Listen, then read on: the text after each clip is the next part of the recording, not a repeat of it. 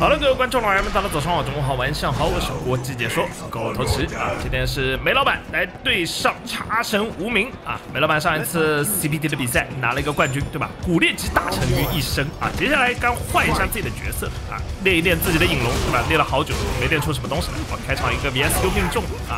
无名这边呢，哎，天梯第四的叉子不用多说啊，天梯前十的都是肝硬化选手啊，迟早要进 ICU 的。现在叉子这边晕点已经非常高了，很难受。下中鸟发波直接打了一发 VS，梅老板这边不饶人啊，就不停的顶过来。无名在这边突然一手下中脚，想缓解一下自己的一个压力啊，但是没有缓解掉，还是被梅老板一直压着。VS 打完上指令头直接打血反，这个东西有点想法，但这个想法有点夸张啊，这指令头也没这么远。最后一波连段，直接打在无名的脸上，直接带走了啊，送了一波。就刚才那个 VS 距离其实还是挺远的啊。无名在这里判断用一个指令头去确反，应该是他的眼睛骗了自己，距离是不够的。这 VS 推出去的距离还是挺远的。这边跳入了，然后给了一发巴塞罗那倒地。看一下这边是择一个正逆，选择的是正面，下重拳又被梅老板的 VS 架了。梅老板在这个对局当中 VS 是取得了一个很大的效果啊，这边被打柴，但连招没连上。无名在这里是有一点小亏啊，问题不大。梅老板发波，这边只能选择 EX 来摸一个奖。资源比较多的梅老板没有选择摸，反而是无名先摸了起来。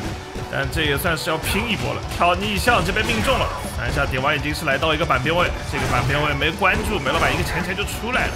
梅老板手上留的满资源，应该是有一个机会打一波爆发伤害的。VT 二开出来的话，两套可以直接带走。不要看这个血量这么多，问题不是很大。梅老板现在藏资源是真的很能藏。上一次比赛当中啊，基本上每局都是一个 CA，对吧？加中疗发波一直没有办法洞穿对手的一个防守，就不断的在磨血。但其实这个风险很大，对手选择用 EX 过波，加中疗继续推。啊，这边起跳直接被抓了。梅老板最终想要通过跳来洞穿对手的一个防守，没能成功。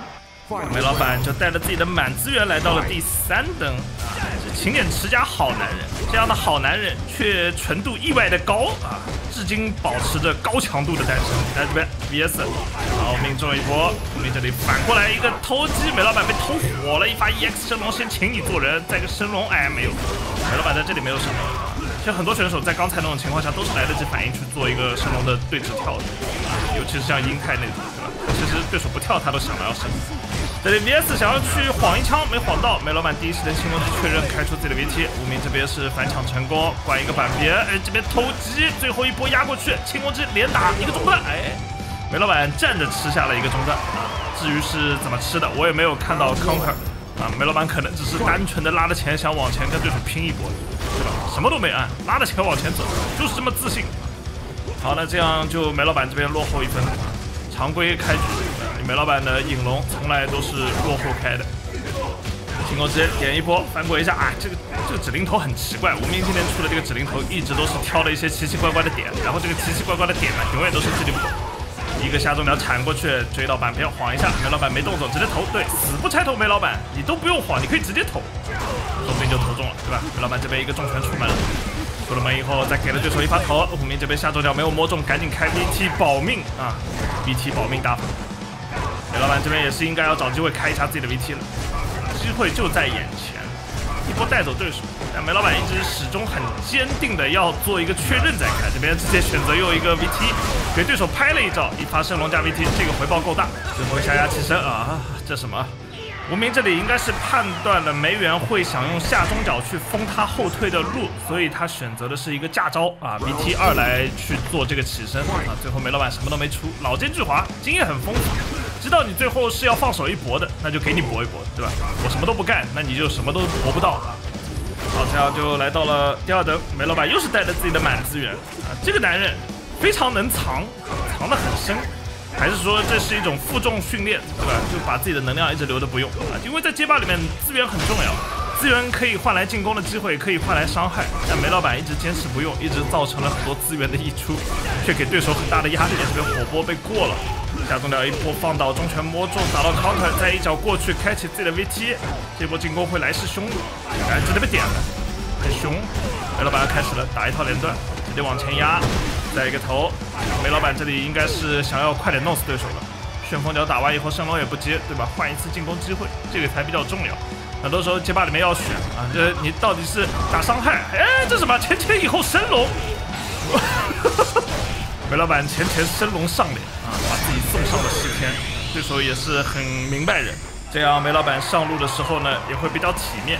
那这样是一灯对一灯，嗯，梅老板已经被逼到了一个赛点，手上还是带着他的满资源。每一局开局，我们都要强调一下，梅老板是资源丰富的男人。